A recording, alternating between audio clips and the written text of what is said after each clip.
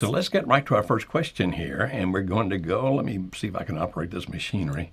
We're going to go here to Maryland this time, here in the good old USA, and speak to Raj. Hi, Raj. Can you hear us okay? Yes, I can. Hi, Dr. Beam. Uh, hello, Kimberly. Hi, how are you doing? I'm fine. Thank you for taking my call. And thank you for calling her Kimberly, because when people call her Kim, I have to deal with the wrath of that. So, so thank you, my friend, for calling her Kimberly. And how may we help you today? Uh, so uh, I've been married uh, 13 years uh, with my wife. We have uh, three kids. Okay. Um, uh, due to uh, infidelity on my part, um, I was asked uh, to move out of the house uh, in April, um, and so I stayed close by. Um, interacted, kind of gave her some space. Um, right around May, uh, kind of on a lark, I uh, I moved back in because I thought that the the the marriage was going sideways or the the separation was going sideways, and um, just you kind of move back in to try to salvage what's left, um, which kind of cascaded and led to a, a host of of problems and, and ultimately led to her filing uh, a divorce and in the first instance a, a protective order because she thought that I you know by moving back in that was kind of an aggressive action on my part. Um, that protective order ended up going away. There was you know that the the judge dismissed it, but there was that action on her part to do that. So she's living angry at you. Is that what you're saying? That she's angry with you then? She's right. Okay. Yeah, she's angry with me, right? Um, And so we're we are uh, we're living separate now. Um, the kids are with her the whole time. Um, she's filed divorce proceedings, of course, um, and uh, I, I I see them. I interact with with her and the kids kind of on a daily basis. I see them in the morning. I come over in the evenings. Mm-hmm. Um, I'm working on my pies to you know to keep conversations limited to Mm-hmm. just the kids. Um, there have been a, a few couple times where I've slipped up, but otherwise, you know, When you uh, say talk about when you say slipped up, what does that mean, Raj?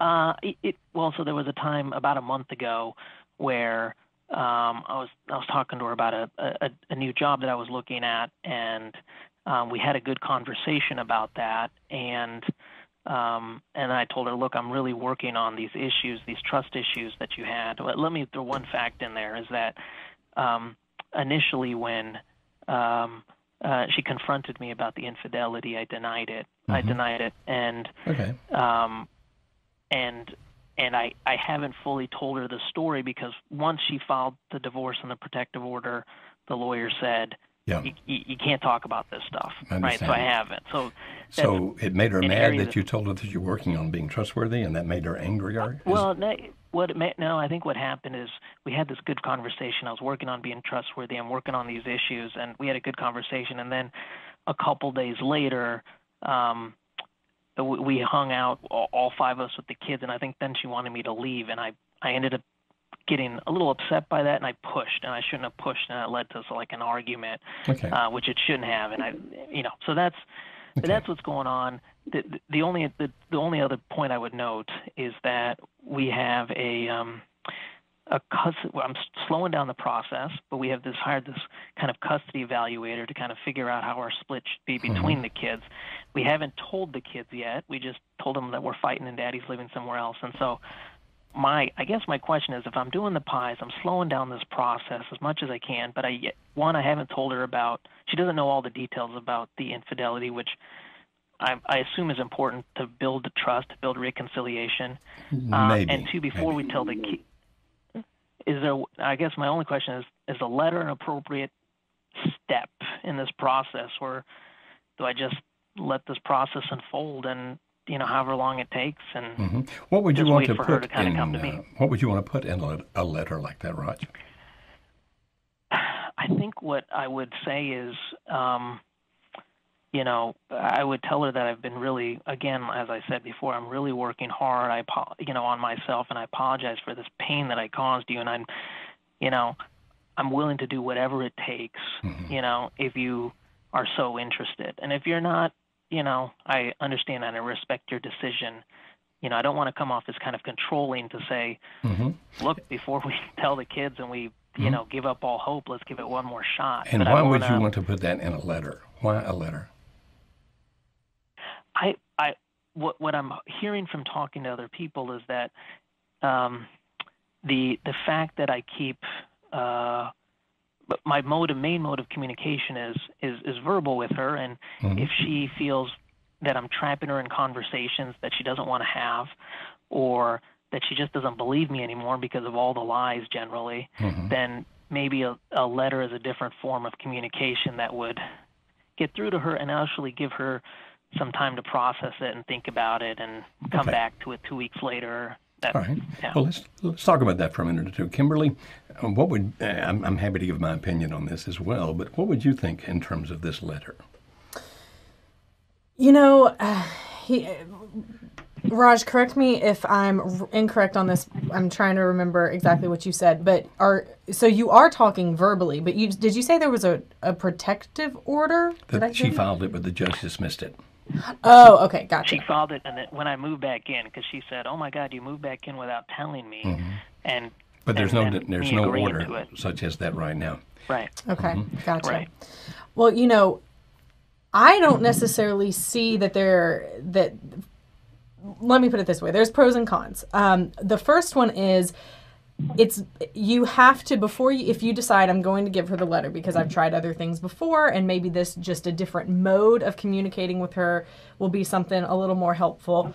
Awesome. I think that's a good reason. But if you are saying i'm going to do this and here's what i hope to come out of it then i think you need to check your expectations. Um, if you're hoping that the letter okay. is going to bring about reconciliation I don't think the the letter is going to necessarily bring about that. It could bring about some pause on her side where she stops and thinks about some things. It could bring about anger. It could bring about a whole host of things that you may not be thinking about. Um, but as long as you are coming from it, if, as long as you understand that and aren't necessarily expecting some major turnaround from it, where your expectations then are going to be crushed, then I I say go for it. Actually, I'm, I'm going to disagree. Go for it.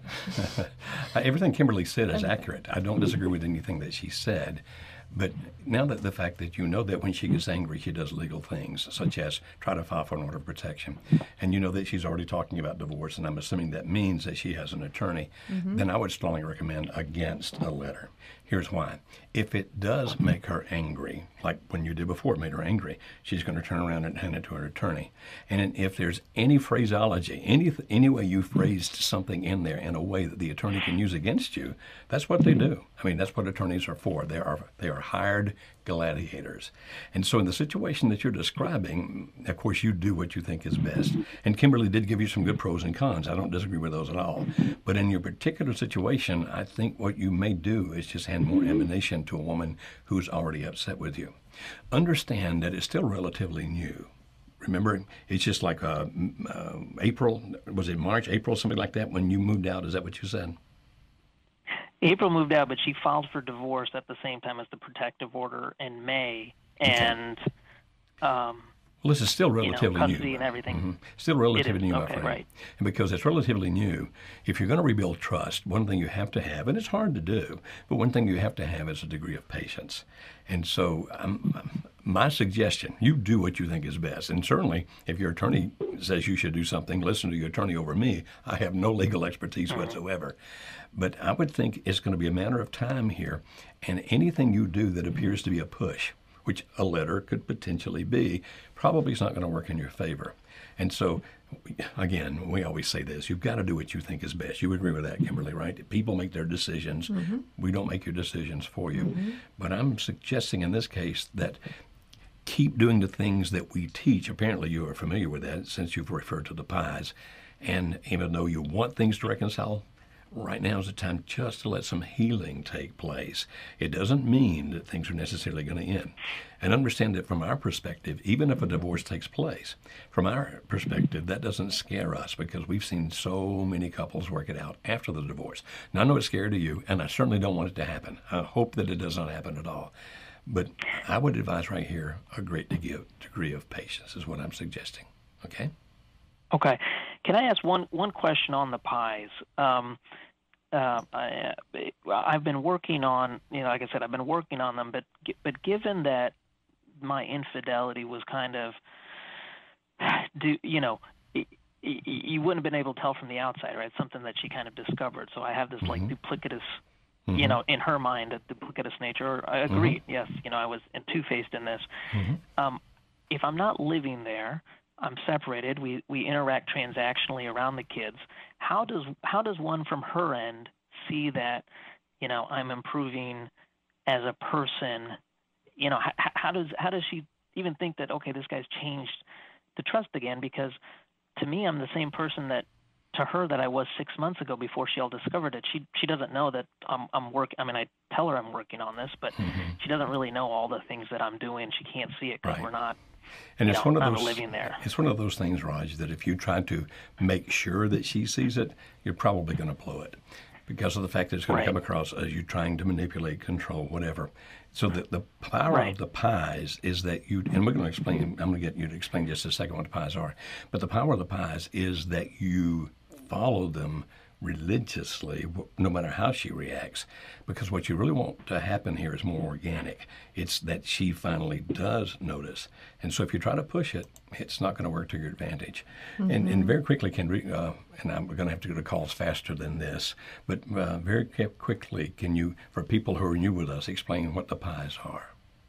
Sure. So the pies are what we talk about at Marriage Helper as the four ways to be the most attractive that you can be physically, intellectually, emotionally, spiritually. Physically, looking the best that you can for your age and situation in life. Intellectually, being the kind of person who has who someone is able to talk to. Um, emotionally, making sure that you are evoking positive emotions in your spouse. Spiritually, having a beliefs and values that your spouse sees as being equal to or better than their own. So that's a quick rundown on it. You can actually go to our YouTube channel, watch some of our videos there, and find out even more about the pies. But the question that Raj just asked is super common of well if i'm working on my pies and my spouse isn't noticing or isn't living with me and is how are they going to see that happen and what we always say when we talk about the pies is you do it for you hmm. because it's something that you should do no matter what happens, no matter what externally is happening in your life. So you do the pies first and foremost for you.